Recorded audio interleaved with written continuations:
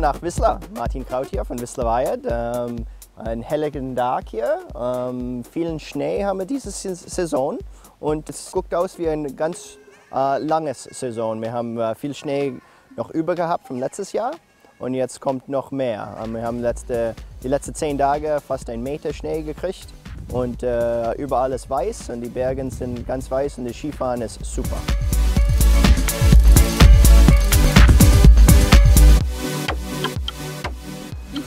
Trainingseinheiten haben Sie denn jetzt insgesamt schon hinter sich? Also wir sind seit dem 27. hier, insgesamt sind es neun Tage, wo wir hier sind und pro Tag haben wir eine Trainingseinheit absolviert mit jeweils zwei Fahrten. Ja, wir sind eigentlich sehr zufrieden, ähm, wir sind auch sehr zuversichtlich. Es ist eine sehr komplizierte Bahn und wir hoffen, also das Training ist abgeschlossen, aber wir hoffen, dass das Rennen aber genauso gut vonstatten geht wie das Training. Es gab sehr wenig Stürze. Das, was wir befürchtet hatten, dass mehrere Teams stürzen und das war nicht der Fall und von den Zeiten her, von den, ja, von den Rennbedingungen werden wir dann sehen, die anderen Nationen wie die Russen oder die Schweizer, Kanadier sind natürlich sehr, sehr stark hier. Aber auch unsere Jungs, die ja noch etwas jung sind, brauchen sich nicht zu verstecken. Die jungen Wilden. Die, die jungen Wilden, ja. Maximilian Arndt hat im Training schon sehr gute Zeiten erreicht. Und lassen wir uns einfach mal überraschen. Es ist ein sehr anspruchsvoller Kurs ist, ist sehr, sehr schnell, besonders wenn die Temperaturen unter 8 Grad minus fallen.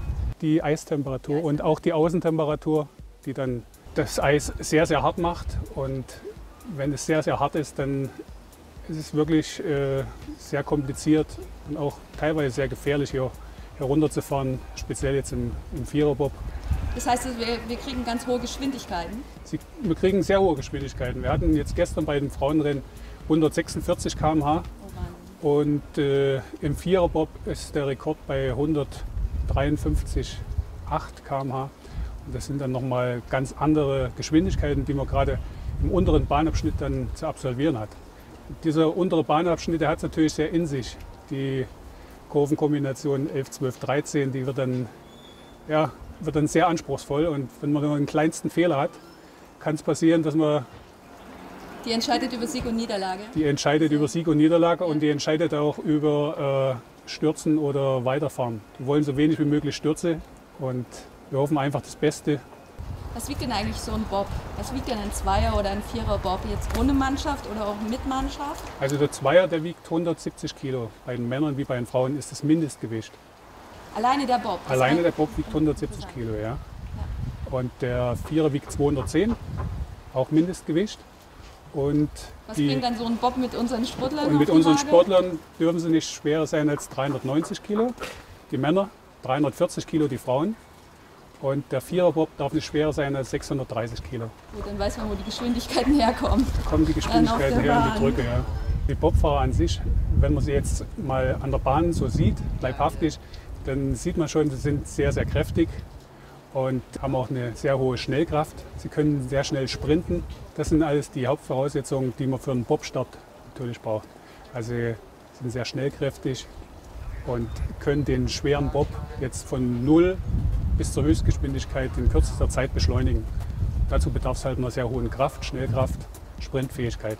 Vielen, vielen, vielen Dank. Bitte schön. War ganz ausgezeichnet, sehr interessant mich. vielen, vielen Dank. Freut mich zu hören.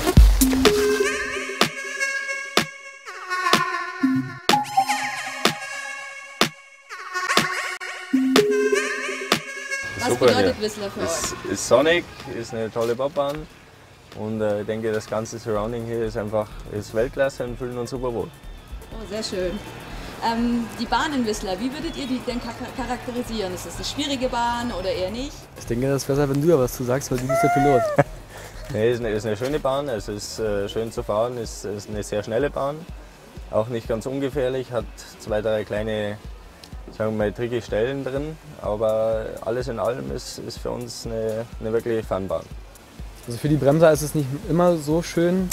Es kann manchmal auch ganz schön wehtun, aber wenn der Pilot seine Sache gut macht, dann macht es auch Spaß.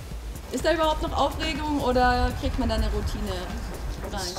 Schon mehr Routine, aber so ein bisschen Aufregung schadet nicht. So kurz vorm Start kribbelt es dann doch und dann geht's ab. Könnt ihr vom Bobsport leben oder müsst ihr in eurem normalen alltäglichen Leben tatsächlich noch einen Beruf ausführen?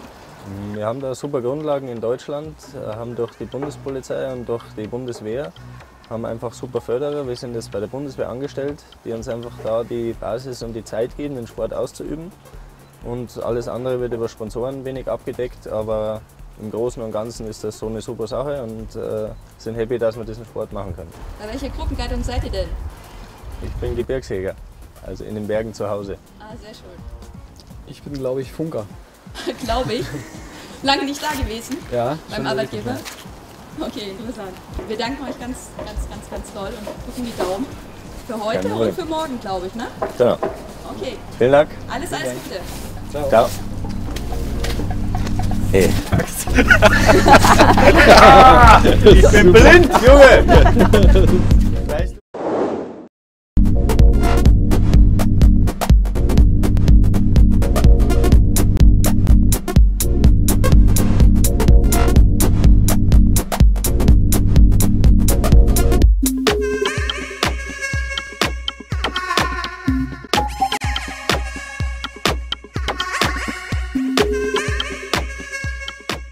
auf Platz 1 schnell Anschieber Martin.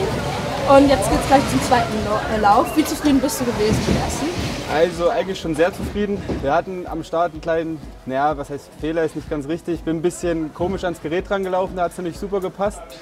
Ein, zwei Passagen bin ich ein bisschen getriftet, das war nicht ganz so schön, aber unten raus hat er echt sehr geil gepasst, der Lauf. Wir geben einfach nochmal alles und sind guter Dinge für den zweiten Lauf. Es ist auf jeden Fall eine Hochgeschwindigkeitsbahn äh, mit anstrengenden, schweren Passagen für Piloten, gerade der untere Teil, wo man wirklich die Sinne beisammennehmen muss, aber auch eine sehr, sehr schöne Bahn, gerade der obere Teil, wo man fahrisch doch sehr gefordert wird. Das ist eigentlich, mir gefällt es mir hier sehr gut. Ich bin bei der Thüringer Polizei beschäftigt, bin da, habe da dieses Jahr meine Ausbildung fertig gemacht, bin jetzt Polizeimeister, werde von denen über den Winter freigestellt und im Sommer gehe ich dann ein paar Monate zum Arbeiten und versuche Verbrecher auf der Straße zu jagen. Und das ganz schön erfolgreich.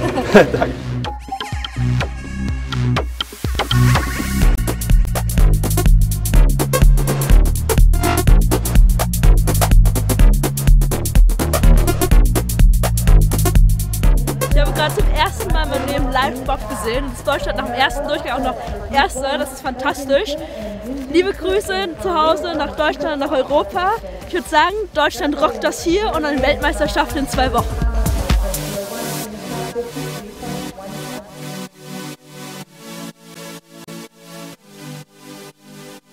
Hi, I'm me from Whistler with love.